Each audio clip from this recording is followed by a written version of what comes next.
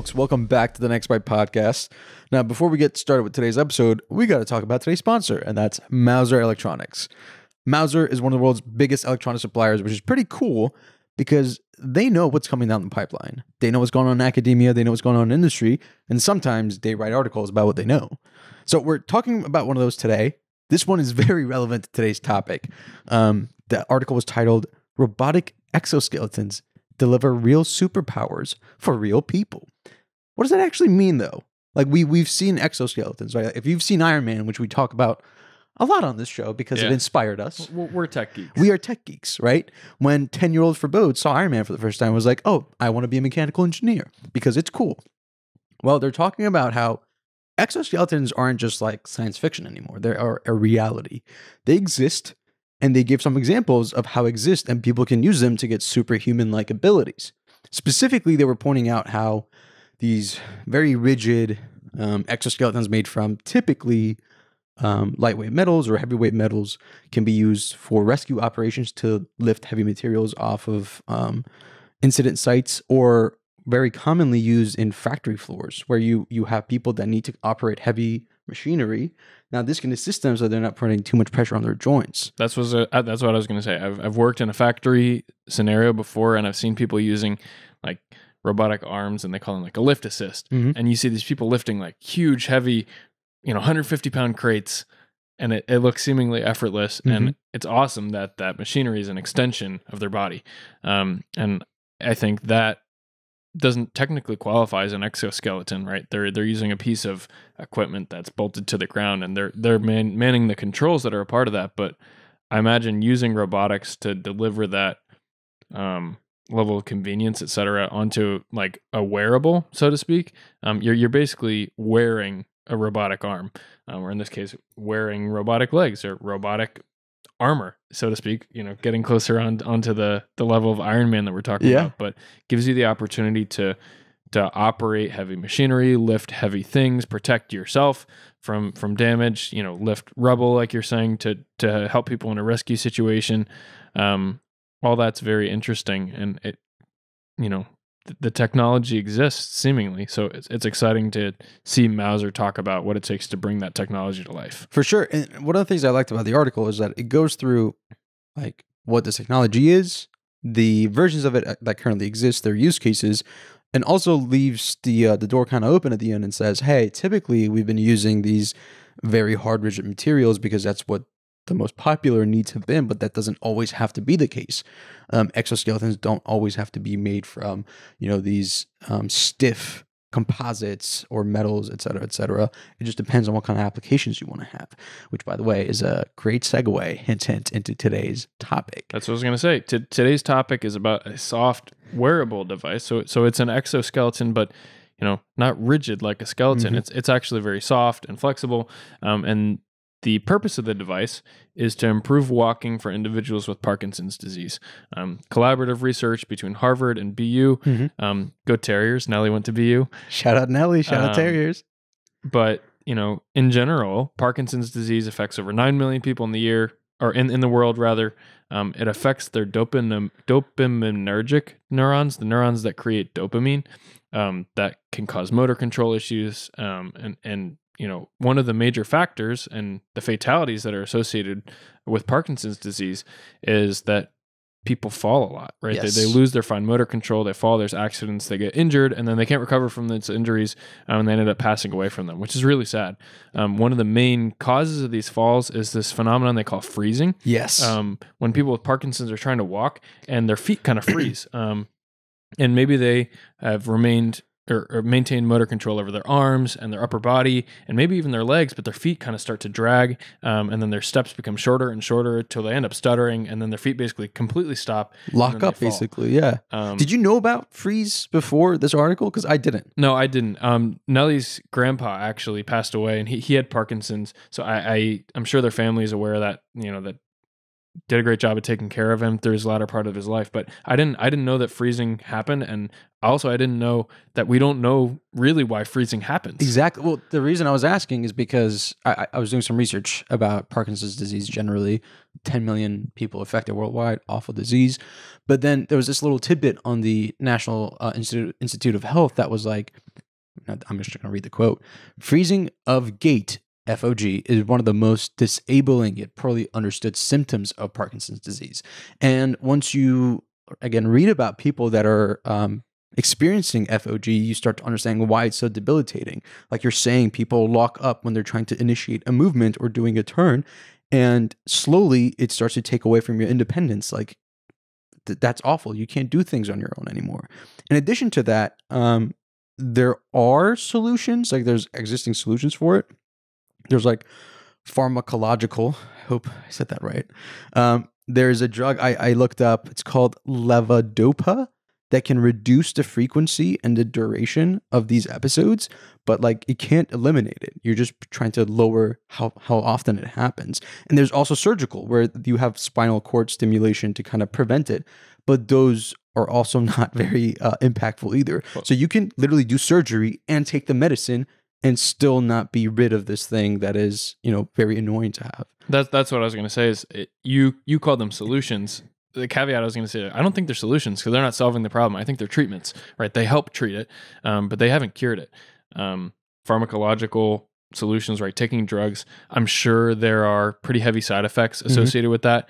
Um, knowing that what they're trying to do is increase dopamine production in the brain, I can only imagine um, how much The withdrawal. yeah, you know, the, the the rest of the body, the the side effects that you experience. Obviously, surgical. That's pretty invasive. Um, I don't like the sound of someone cutting open my back and stimulating my spinal cord, and it's still not solving the problem.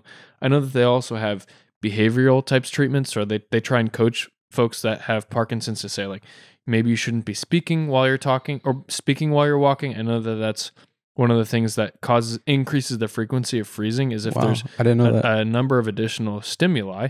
I, I looked this up researching for the episode, right? Um, if folks are walking outside um, and there's like a change in terrain and there's a lot of different visual stimuli, um, that can cause increase in frequency of freezing. And also, if folks with Parkinson's try to walk and talk at the same time, that also tends to cause increase in frequency of freezing. Um, they're not exactly sure why that happens, but I know that they they think that you know some part of the central and peripheral nervous system, the way that you're trying to, you know, manage multiple stimuli while also trying to control the muscles, um, you know, maybe causes some crosstalk, and then you lose lose control of your feet. Um, all that being said, existing treatments exist. They aren't very effective, and also that the root cause is not well understood. exactly. So, um, what this team from Harvard and BU are doing, they're, they're taking uh, technology that exists in soft robotics um, and also technology that they've used before, I think, to help st- stroke patients recur, Yes. uh, recover. Because strokes, similarly, you lose your ability to control your gait sometimes, and and that um, that motor control can be returned if, if the body's coached and it's retaught to understand how to walk again. So they've they've used soft robotics technology in the past to help folks with strokes to to recover their gait. Um, But by the way, we said gait a lot. Uh, gait is like the, the pattern of, of someone Yeah. walking. G A I T. Yes, gait. it's, it's not like doors gate. Yeah. yeah. That, that that's a good call. Yeah. Um, and they, they said that this device is worn around the hips and thighs, and it's it aims to stop gait freezing. Um, when I first heard that, did you ever watch the Wallace and Gromit Nope. cartoons? It's like this claymation. Um, Wallace is like a crazy scientist, and his dog Gromit is even crazier scientist, and they like build a rocket that goes to the moon because they think the moon is made of cheese. And one of these episodes in Wallace and Gromit, uh, they order these techno trousers that are from NASA, and it's like robotic legs, and then they look like pants, and you put them on, and they're robotics leg, robotic legs that can be controlled remotely, and you know they go through all their crazy stories, and I think the the leg the legs get hacked while someone's wearing them, something's crazy like that, right? I remember watching this as a kid. Um, that's what I expected this to look like. I expected it to look like super um, ugly. Like if you're wearing this out in a crowd, um, people would be like, "Oh my gosh, he's wearing robotic pants." Um, that's not the case. It actually looks a lot more like a weightlifting belt, Yes. which which I see like people wearing in the gym, um, with bands around the thighs as well. So you know, obviously, I am not affected by Parkinson's disease, but if someone, you know, if someone I loved were or I were, I would I would try to encourage myself or encourage those people I love to say, hey, this this thing that you know turns out to actually be pretty effective. It also doesn't it isn't much of an eyesore either. It, it it looks like it wouldn't impede your life as much as I originally thought when they said, "Oh, they're going to put a robot on your legs and hips, um, and it's going to help you walk better." This actually looks a lot more like a back brace. And one thing I'm going to point out here, um, not not exactly the same, but I, I have family. Uh, I have a family member who uses hearing aids, and when they were younger, even though the hearing aid really helped them, they didn't want to wear it because it, it stuck out like a sore thumb, right? So even though the, the solution worked, they didn't want that like aesthetic, that view of, of them needing some sort of an assistive device that doesn't look great. Yeah. So the aesthetics from an engineering standpoint, might, we might just be like, you know, we got our engineering hat on. We're like, that, why does that matter? No one cares. But the reality of it is like if, if you want this solution to be used by people that need it, you also need to make it palatable. Yeah. It needs to be something that they can easily wear and not stand out like a sore thumb. So I, I think that's that's a great thing that you just pointed out because I was going to gloss over it 100%. Well, so let, us talk about it, right? Yeah. The secret sauce, we, we've kind of mentioned it, right? Um, you've got a band around your waist, like right above your hips, um, then another band's around your thighs, and then there's cables that attach the bands around the thighs to the the bigger band that's around the waist. And essentially, what they're doing is analyzing motion data. Um, estimating the phase of your gait, right? The pattern of your walking.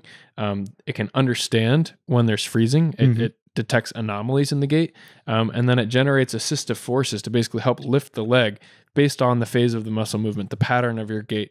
Um, It you know, gives you the nudge that you need to finish that phase instead of like starting to stutter. know, going back to my analogy of like a weightlifting belt, it's interesting. Um, it's like when you're you're trying to complete a lift and there's someone spotting you. Um, Wow. like oftentimes you don't actually need someone like say that I'm, I'm trying to bench like 200 pounds and, and i'm struggling on my last rep. I don't need someone to pick the full 200 pounds up. Um you know as as my muscles start to fatigue and stuff like that i might need you to help me like just give me a little nudge. Help, help me lift a lot lift like you know 5% of that weight um, to, to help me get it back and set the bar back on the rack. Um, this is very similar. I, I think it's it you're the folks with parkinson's when they're experiencing freezing they don't actually need you know to generate the entire force to pick up their leg and create the next step Right. actually you just need a little bit of a nudge to help lift the leg right? And you can imagine there's a cable attaching the band around the waist to the bands around your thighs. And when this detects that you're supposed to be taking a step with your left leg based on the pattern and the phase of your walk um, and then they notice that that step isn't happening it generates a little nudge. It helps pull up that thigh um, to help maintain the gait. And that little nudge is enough effectively. They've seen to basically completely eliminate indoor freezing Mhm. um, and significantly reduce outdoor freezing without any special training. So they didn't tell these folks, here, here's the operating manual. Manual, have to practice with this for a couple hours, and then we'll turn up the settings or whatever. They're just like, Wear it and go. hey, you know, hey, thank you, patient, for volunteering to to be part of the study. Put this on, start walking, um, and and it worked right away, which is Yeah. pretty crazy. and that that's what makes it so promising right um again the friction to adoption there being if you have to train someone for a long period of time or you need a physical therapist that teaches them how to use this device then it kind of it, it's, it's not very palatable to most people. But in addition to that um one of the, one of the things i wanted to say is y- you made a point of saying like this thing nudges you forward. The fact that it works in tandem with your actual muscle groups makes it so that people that could not get exercise because of this, like they couldn't independently um, go out on their own, can do that independently now, but also be able to work their muscle groups and not have to um, like lose that density over time, which then causes more issues. Like it's a domino effect, right? Yeah, well, that that's something I was going to mention. Is this was originally intended to be a rehabilitation tool for folks that were recovering from stroke. So Right. it's not intended to walk for the person. It's intended to help the person recover their- their their ability to walk. And I, I was going down the same path that you were there. Like folks, if they if they have Parkinson's disease and they struggle with their confidence to walk, Mhm. um, they're going to stop walking as frequently. You know, if they always need someone to help them, or maybe they're embarrassed to use a walker or a cane. Um, I, I definitely could see myself being in that position if, like, For all my- sure. all my friends are going out. I, I wouldn't want to walk around w- with a walker For sure. Yeah. Um, so, um, this gives them the freedom to continue walking, and then their mus- muscles don't atrophy as much because they're not the neglecting word their ability to atrophy. Yeah. their ability to walk, right? It's a great point because that may continue to extend their ability to walk, their their muscle mobility that may reduce the long term effects of Parkinson's disease, that may increase their quality of life and increase their life expect eh, life expectancy. Yeah. Um, all because of a little nudge on their legs to help them keep walking.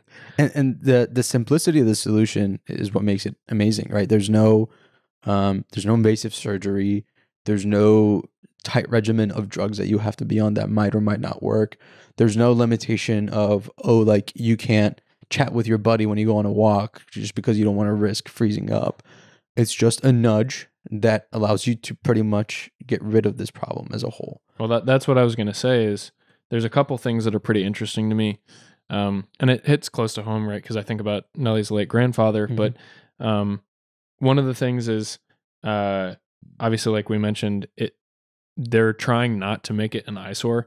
Um, in addition to the engineers, the rehab scientists, the physical therapists, biomechanists working together, they also have apparel designers on their team helping them to make sure that like it doesn't just fit properly on a human it also looks proper right? It fits in fashion wise um, which i think is pretty interesting.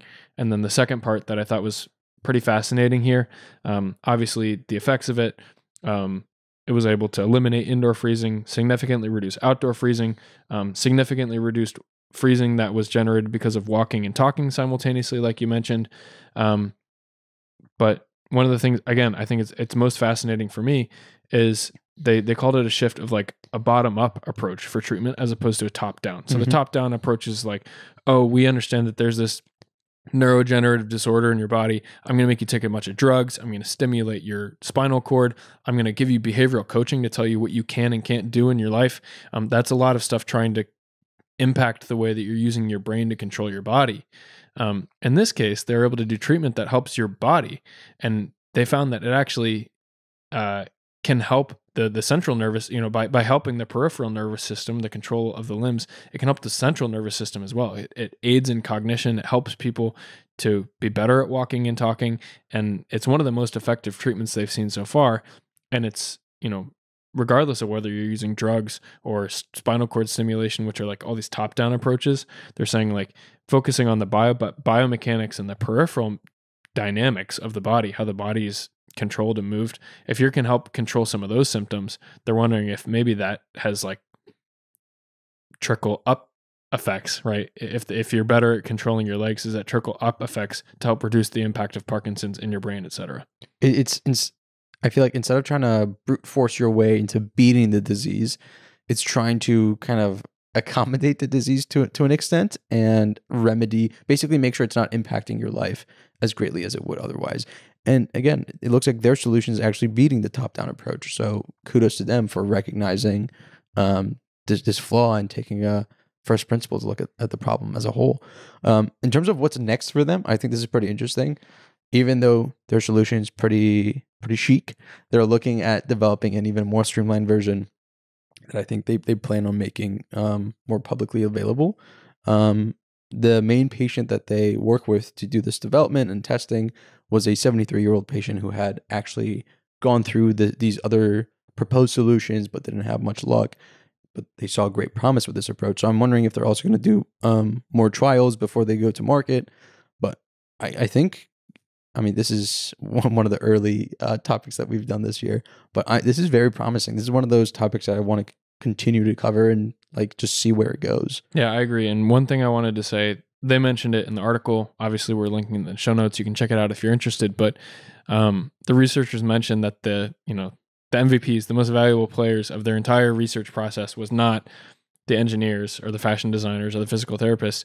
It was these patients that had volunteered their time to help test uh, the solution because they they mentioned you know if these folks are already experiencing mobility issues, it's even more challenging for them to get through you know all the craziness that is the metropolis city in Boston to get all the way in to the university to help do their study. But they appreciated those folks and their tenacity to one you know be willingness to try new things, help development and technology, but that also they they mentioned these core few folks that were willing to test out the technology in its early stages are probably going to create huge knock-on effects for you know lots of other people that are also impacted by Parkinson's disease. It's it's obviously like a warm and fuzzy feeling, uh, you know, a little bit sappy, but I, I think it's it's really meaningful to shout out those folks um, who had to already overcome all their mobility issues to get to the place where they can test the new solution. And I'm sure there was, you know, some trial and error to help tune things to make sure that For it works sure. properly.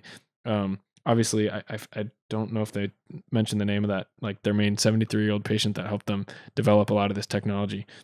Uh, huge kudos to that person because they're they're you know going through a lot more than any of the other researchers are to, to Yeah. develop that tech. And they're paving the way for a brighter future for others like them. So Yeah. you love to see it. Um, I, I think that's just about it. We're we're uh, almost ready to wrap up the episode, but we did promise that we, as always, we want to shout out um, our folks worldwide that are making us trend. And it looks like we were trending in Denmark, right? And is that right? Yeah. Yeah. Okay. I don't Yep. know how to say thank you in Danish. You you promised. I looked it up. I looked it up. Okay. I'm going to do my best here to our friends in Denmark. Please be nice. I've only been to Denmark once when I was a kid, so you can't hold it against me. But uh, tak skal du have. Okay. Um, I really hope that's right. Um, thank you guys so much for listening. We really appreciate the love and support. And as always, we'll catch you in the next one. Peace.